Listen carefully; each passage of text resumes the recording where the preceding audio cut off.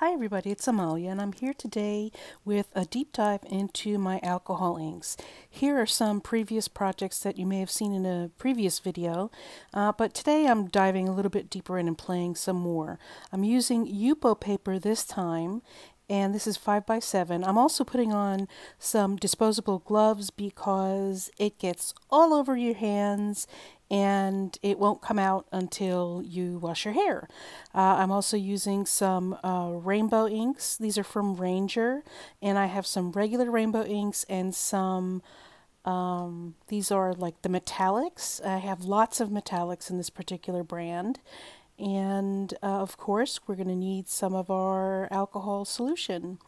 First, I'm going to start with a bunch of alcohol solution on my Yupo paper and uh, I'm going to use these Posh Rainbow inks. These are alcohol dye-based inks, so um, that's what I'm starting with. And I haven't used these in a really long time.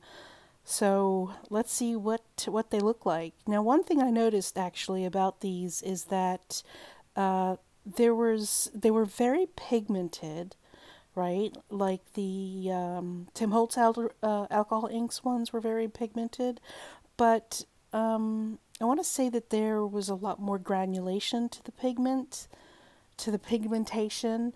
So uh, whereas the Tim Holtz ones were very clear and translucent, um, these were translucent as well, but you could see you could see little grains of pigment, uh, which was great for texture and uh, just a little bit more interesting, let's say. And with this particular project, I'm just at the point of playing and seeing what the inks do. Uh, I was a little bit lazy. I could have gone and gotten out my marker spritzer to use as a blower. I even have some cans of um, canned air, you know, what you use to clean off your computer keyboard. Um, but I was too lazy. Was too lazy to go to my cupboard and grab the canned air, and I was too lazy to go to some of my storage for my craft supplies to get the little spritzer thing. So um, I just moved the paper around. And here I'm trying to add some of the metallic color. This is a gold metallic and um, it's been sitting around for a long time so I really needed to shake it up for a while to get that all mixed in. And one thing I noticed is that as soon as I put it on the paper, uh, it almost started to separate uh, from silver and gold. Uh, anyway, in the end, it turned out just fine. I just spritzed some alcohol, some like 99% or 91% isopropyl alcohol on it. And that just, uh, it helps the colors separate and it does fun stuff. And now I'm using a straw to move the colors around. And I don't recommend this. Um, I just don't recommend it. It's not a good idea. Here's what it kind of looks like before it's dried. Then I decided to get uh, my heat gun and help it dry a little bit more because there was a lot of color and a lot of liquid on this so I want it to dry a little bit faster. And be careful with your heat gun especially on this Yupo paper. Yupo paper is a type of plasticized paper or plastic paper and uh, it will warp and and burn. I didn't hold it to the paper for too long, so I didn't have that problem in this instance. And uh, so, yeah, so I decided to let that dry naturally, and let's move on to some other colors. Here I'm using a lot of metallic colors. And uh, there's nothing, there's no alcohol blending solution on the paper yet, so you see nothing's happening. The color's going on the paper, but it's not moving around. So I'm adding, I'm shooting alcohol blending solution on the page. And now is when the uh, metallic colors start to mix.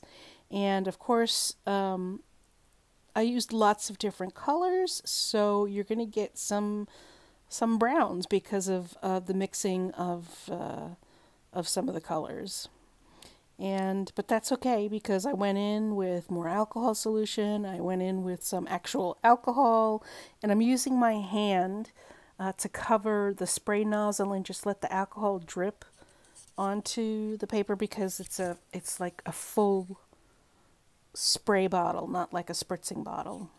That's actually the bottle that I use around the house for COVID cleaning. I go in with some more regular alcohol color, some more alcohol blending solution, and just try and get things moving and separating a little bit.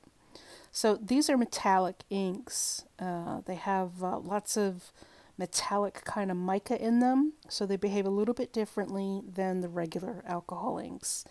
And um, I set that aside to continue drying, and then I had a lot of extra ink on my fingers, and for some stupid reason, I decided to wipe it off on the actual paper. But it doesn't matter because when it comes out in the end, you don't even see those splotches anymore. And I'm using a cranberry red here, again, still with the Posh Rainbow inks. And uh, again, these are Ranger inks, and I have seen them within the last 18 months in a Michaels. So you can look in Michaels for some of those. It's a gorgeous color. Love that red. I went into it with some alcohol, and it starts to separate and move, and I'm just very excited about the brilliance of the color. And now I am adding some gold gold metallic alcohol ink. I'm layering and layering. I'm adding now the alcohol blending solution to get things to move a little.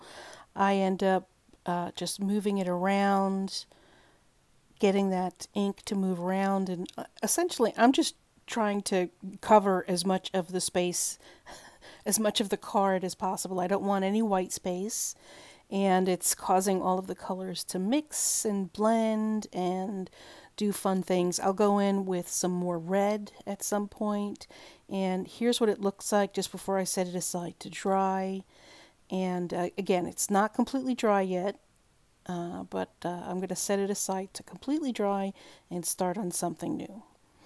Well, uh, I went in with my alcohol inks. I went in with some blues and purples and yellows and uh, I already covered this particular uh, piece of Yupo with uh, some of the color. And now I decided I wanted to use some pearls. And these are pearl mixatives. And um, they've been around for quite some time. And I had to shake these bottles for a really long time to get the pearls and the micas in there to to mix well.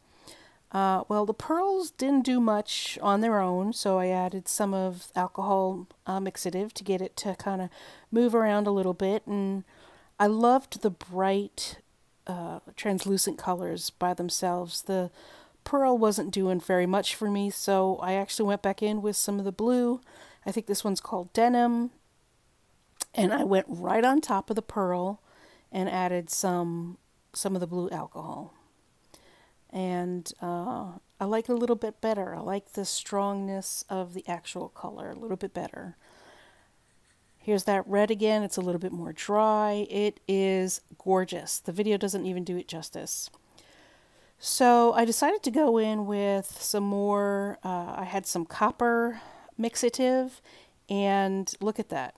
It was not well mixed. It has a bubble, eh, you know, um, a ball bearing in it and uh, it just wasn't well mixed. The big blob of the mica came out and not much else. So I'm sure there's some sort of resin mixative that was in it, but it it was like there was no none of that left. It was just like a big blob of the mica. So I tried to take off as much as I could, and uh, we'll call that a fail. But we're still going with it because uh, nothing's a real fail.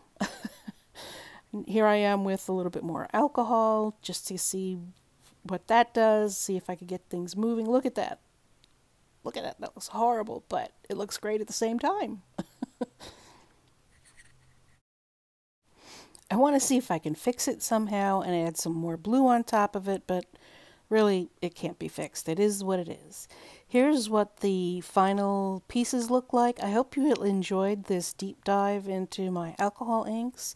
Uh, stay tuned for my next video in this deep dive series because I'm going to show you what I did with these alcohol inked panels. Please give me a like and subscribe and bye!